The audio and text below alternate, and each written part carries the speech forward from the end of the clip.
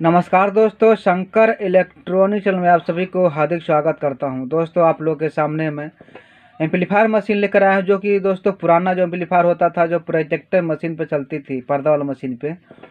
तो आज मेरे पास बनने के लिए आया है, जो कि मैं आज मैं इसमें रिपेयरिंग नहीं करूँगा, मैं आपको बताऊँगा कि पहले आपको ले चलता हूँ। देखिए, इसमें कौन कौन से टोन लगे हुए हैं। तो माइक वन माइक टू और माइक थ्री सी और आक्स इसमें लिखा हुआ है, मास्टर और बेस्ट और ट्रेवल इसमें लिखा हुआ है। तो आगे देखिए, जो इसमें पहले नंबर आता था तो यहाँ पे चिपक लगा हुआ है। और यहाँ पे पहले ट्राली होता था, ट्राली, डीवीडी वाली तो हट चुका है, उसके जगह पर ये एम लग चुका है। और जो कि ये डीवीडी कार्ड का चलाता था ये प्लेट ये। आज ये इसका समस्या, कहानी सब ख़त्म कर दिए हैं। मतलब आज इसका कोई दिक्कत ही नहीं आज के डेट में, आज मेरे पास।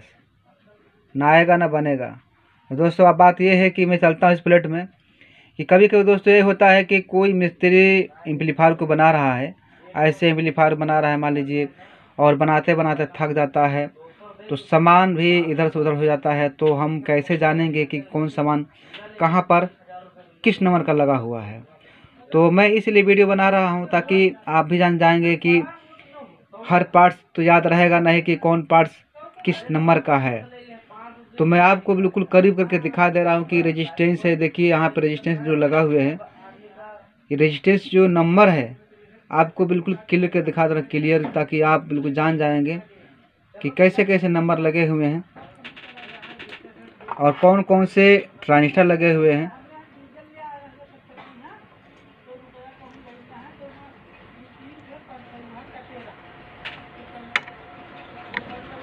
अब ये है, देखिए, इसका कलर कोड है ग्रीन और ब्लू और रेड। और ये ट्रांजिस्टर है अठारह पंद्रह। और ये है अठारह पंद्रह, जो कि इधर मुँह किया हुआ है, इधर मुँह किया हुआ है। और ये है अठारह पंद्रह। जो कि इधर से मुँह किया हुआ है। मतलब इधर, मुँह इधर है मतलब इधर इधर नंबर दिखाई देगा। ये है इसका क्या? एमीटर। और ये है इसका बेस। अब ऐसे देखिए, यहाँ पे अठारह पंद्रह लगा है तो इधर मुँह किया हुआ है। अठारह पंद्रह। तो इसका ये है एमीटर और ये है बेस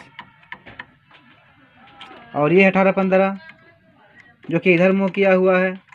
ये इधर मुँह किया है। देखिए, इधर मुँह किया हुआ, आपको मैं दिखा दे रहा हूँ। इधर मुँह किया हुआ है और यहाँ भी लगा है अठारह पंद्रह, जो कि इधर मुँह किया हुआ है। और ये भी लगा हुआ है अठारह पंद्रह, जो कि इधर मुँह किया हुआ है। ये है प्रीसेट। ये प्रीसेट है वन के। वन के प्रीसेट है। और ये ट्रांजिस्टर है बासठ बानवे, और ये है ट्रांजिस्टर बासठ बानवे।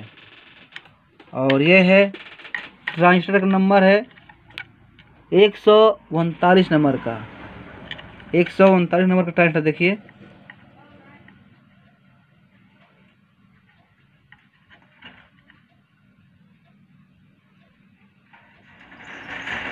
और ये जो कैपेसिटर लगा हुआ है, इसका नंबर मैं बता दे रहा हूँ।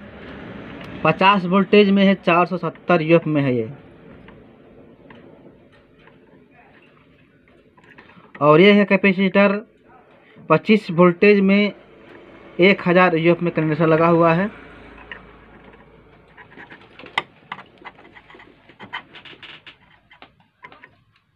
और ये रेजिस्टेंस में दिखा दे रहा हूँ आपको रेजिस्टेंस का नंबर क्या है ये?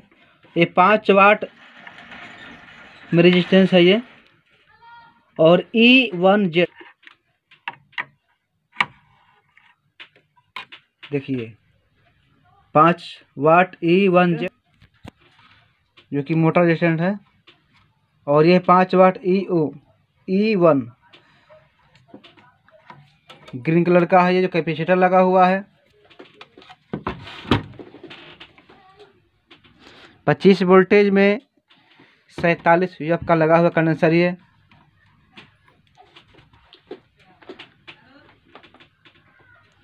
दोस्तों, ये कंडेंसर है। इसको नंबर साफ़ दिखाई नहीं दे रहा है, ना तो मैं क्या दिखाता सही से। फिर भी कोशिश कर रहा हूँ दिखाने के लिए।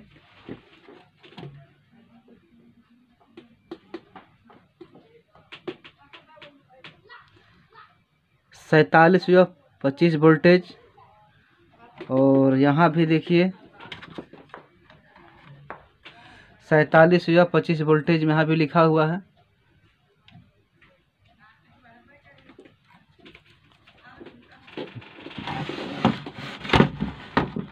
और ये देखिए जो रेजिस्टेंस लगा हुआ है, जो स्पीकर का रेजिस्टेंस पर लगा हुआ है। देखिए स्पीकर जो होता है, जो हम जोड़ते हैं स्पीकर बजाने के लिए। तो ये इसमें एक कॉमन से लेकर के यहाँ से लेकर के यहाँ तक गया है और सीधे लास्ट में जोड़ा गया है ये।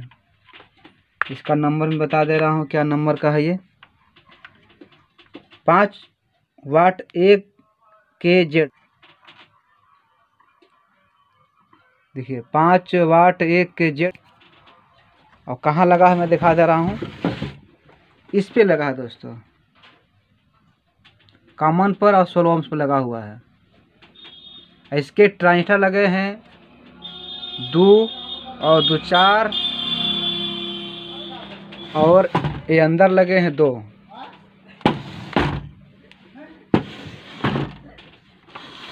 दोस्तों, मेरा मकसद यही था कि ज़्यादा वीडियो लंबा ना करूँ और कम समय में आपको वीडियो दिखा दूँ। बात करते हैं रेजिस्टेंस जो लगा हुआ है। रेजिस्टेंस को आप सही से पहचान कर लीजिए।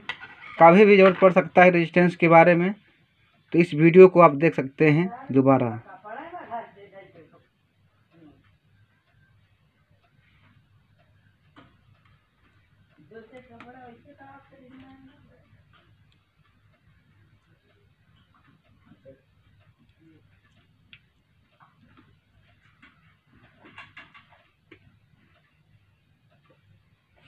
मान लीजिए कभी कभी रजिस्ट्रेशन चल जाता है तो नहीं मालूम होता है कि किस ओम्स का रजिस्टेंस लगा हुआ है, ये वाला देखिए।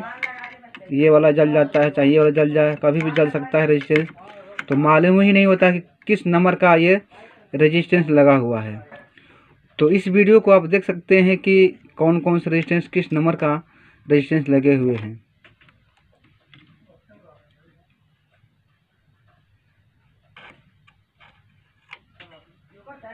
बिल्कुल मैं क्लियर करके दिखा दे रहा हूँ, ताकि एक एक पार्ट साफ़ साफ़ क्लियर दिखाई दे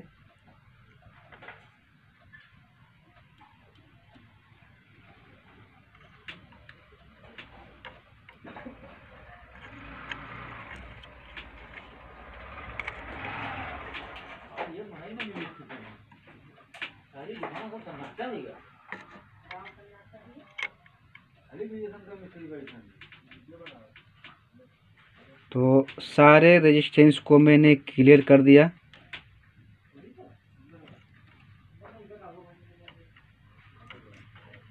ये रेजिस्टेंस आपके हमेशा काम में आएँगे।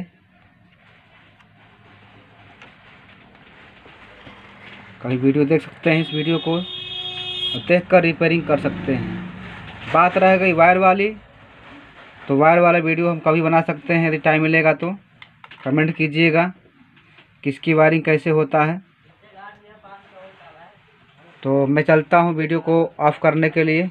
यदि मेरा वीडियो आपको अच्छा लगा तो एक लाइक ज़रूर कर दीजिएगा। ठीक है, मेरे वीडियो में बनने के लिए मैं आपको धन्यवाद करता हूँ। और मैं अपने वीडियो को समाप्त करता हूँ।